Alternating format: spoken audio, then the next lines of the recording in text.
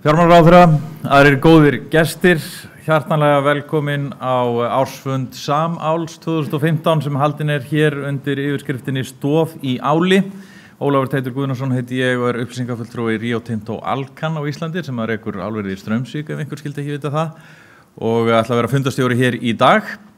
Nú uh, við skulum nú svona eins og venja er á, á flestum fundum hjá okkur í, í álffélagunum velta fyrir okkur örgisatriðin í þessum sal ef eitthvað skildi koma upp á hér og við þurftum að yfirgefa staðin hérna snögla ég get þó lofa ykkur því að það verður ekki vegna þess að einhvert erindana verði ekki nógu gott en það geti eitthvað annað komið upp á.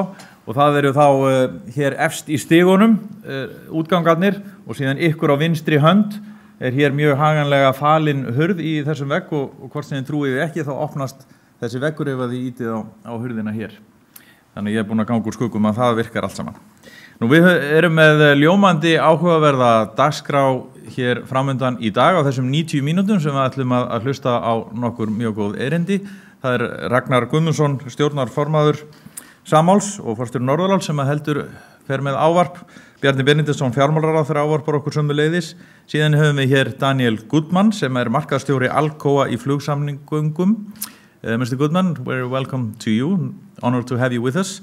Hann ætlar að fjalla um uh, notkun áls í flugsamgöngum og uh, uh, doktor Þröstur Guðmundsson sem er framkvæmstjóri álsviðs HR Vaff ætlar að fjalla um kólefnis fótspor áls og síðan höfum við fengið frá Össuri þau Bjarnar Andrisson og Maríu Guðrunu Svimbirsdóttur vöruhönnuði og þau ætla að segja okkur aðeins frá því hvernig þau nota ál í vörum Össurar, stóðtækjum sem þau framlega og þau hafa þau líka til sínis hér frammi.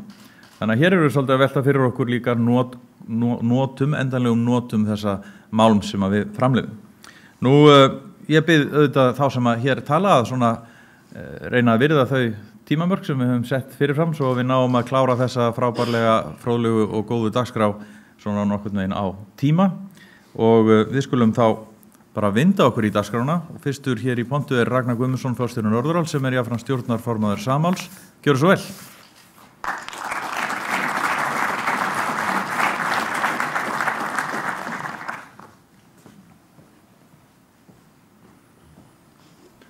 Fjármálar á þaðra, góði gestir, verið hjartalega velkomin.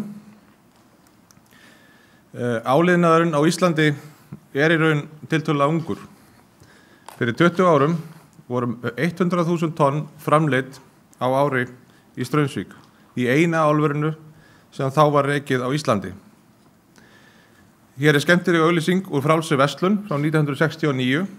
Rannveig var nú alltaf fætt á þessum tíma en álverið var enn í byggingu og lofar 340 störfu.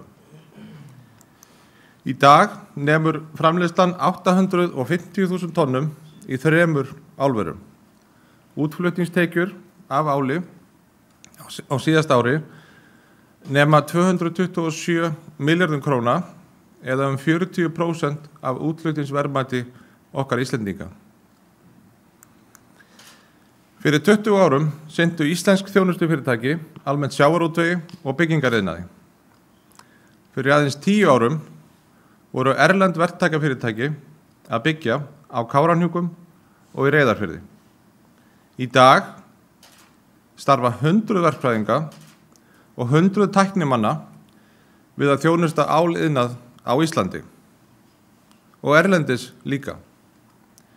Nú eru íslensk verktakafyrirtæki í stakk búin til að taka að sér hvaða verkefni sem er. Og ég vil nota hér tækifærið og óska þresti Guðmundssoni og félögum hjá HRVF til hamingju með stort verkefni fyrir Hydro í Noregi sem tilkynnt varum fyrir nokkrum dögum. Virkjanir á borðið Káranhuga, Helliseiði og Reykjanesvirkjun vekja aðtegli langt út fyrir landsteinana. Þetta eru flókinverkefni en þau hafa tekist alveg gríðarlega vel. Íslenskir jarðhita sérfræðingar eru við störf í Eþjópíu, Mexíkó, Tyrklandi, Kína, Filipsegjum og í raun út, raun út um allan heim. Það er þekkingin sem ávinn, ávannst við virkjanum fyrir álver sem hefur skapað þessi verðmæti. En auðvitað það sem sumir halda þá er ekki einungis þrjú álfyrirtæki á Íslandi. Þetta er skiptaði hundruðum. Þessi styrkur og breytt kom berlega ljós á glæsilegum haustfundi íslenska álklasans þegar fulltrúar 80 fyrirtækja og stopnana komu saman. Rætt var um nýsköpun í áliðnaði og frumkvöðlar kynntu hugmyndir sínar. Þetta starf er rétt að byrja. Það segir síðan að sögu að árið 2014 keiftu álverðin þjónustu af um 700 fyrirtækjum fyrir um 25 miljardar króna. Í nýri skýslu Hagfræðistofnunar kemur fram að um 10% af verkri landsframleyslu verða til vegna þessara fyrirtækja, fyrirtæki, fyrirtækja í orku og áliðnaði. Við erum að tala um 10% af allir verðmættasköpun í landinu. En eins og þessi mynd sínir, þá var sjáarættur einn helsta stóð gældurisöflunar fyrir 25 árum síðan. En núna standa áliðnaður og sjáarættur jafnfætis. Við Íslendingar sannreindum fyrir nokkrum árum hver miklu það skiptir að hafa öfluga grunn atvinnuvegi. Atvinnuvegi sem skapa þjóðinni verðmætar útlöftisvörur og gælduristekjur þegar mest á reynir og flest annað bregst. Þessir grunn atvinnuvegir eru sjávarútugur og áliðnaður. Þá er full ástæða til að gleðjast yfir vexti ferðaðinnaðar. Ég fekk erlenda gesti nýlega og hver hefur trúað því að áreindu að það var ekki hægt að fá hótelherbyggi Reykjavík um miðjan februar. En mér langar að tala eins meira um orkufyrirtækin, auðlindina eða auðlindarentuna. Setjum arðsemi af orkuðinaði í samhengi við sjávarúteg. Ef við miðum við markasverðmætti eina sjávarútegsfyrirtækisins sem er skráða markaði og hlutil þessi kótanum má ætla að verðmætti fyrirtækja í sjávarúti sé samtals eitthvað um 600 miljardar króna. Þetta er auðvitað mjög mikil innföldun en líklega ekki fjari lægi. Sjávarútugur hefur verið stundaður á Íslandi í hundruð ára og markasverðmættið 600 miljardar.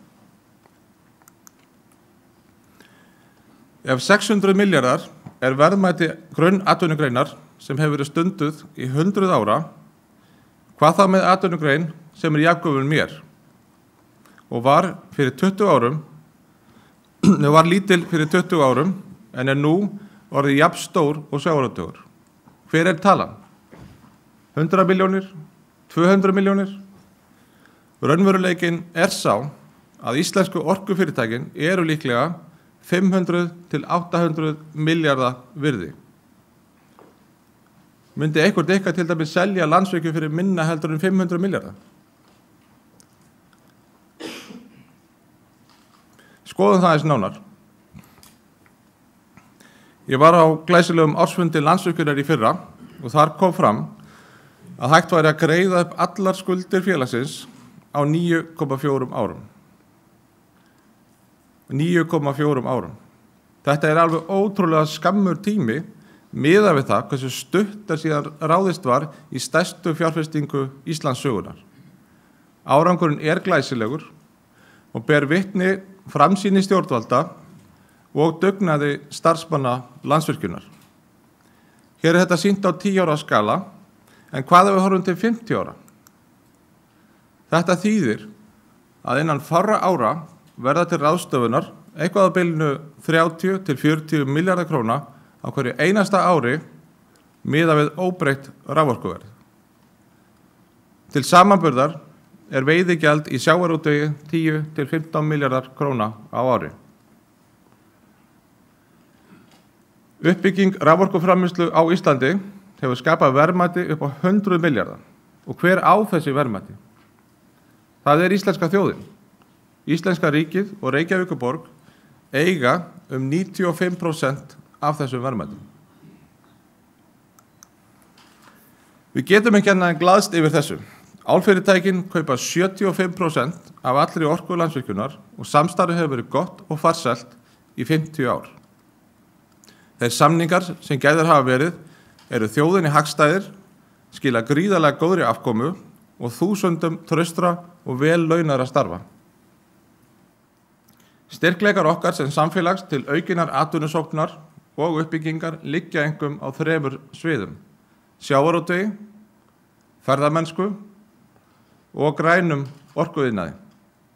Þetta eru megin stóðutar og uppbygging þeirra getur og á að fara saman.